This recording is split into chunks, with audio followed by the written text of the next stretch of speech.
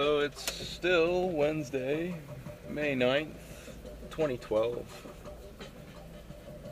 And now I'm headed home real quick to relax.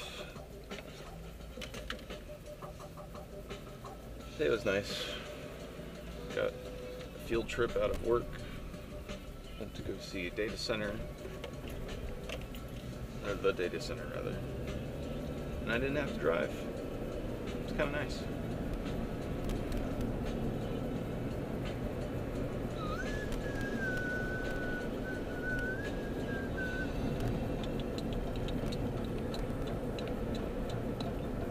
Cut my nails too short.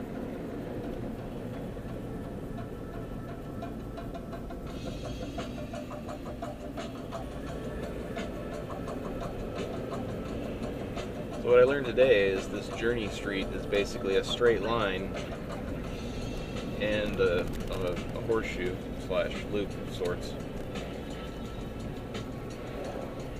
See, look, journey and journey.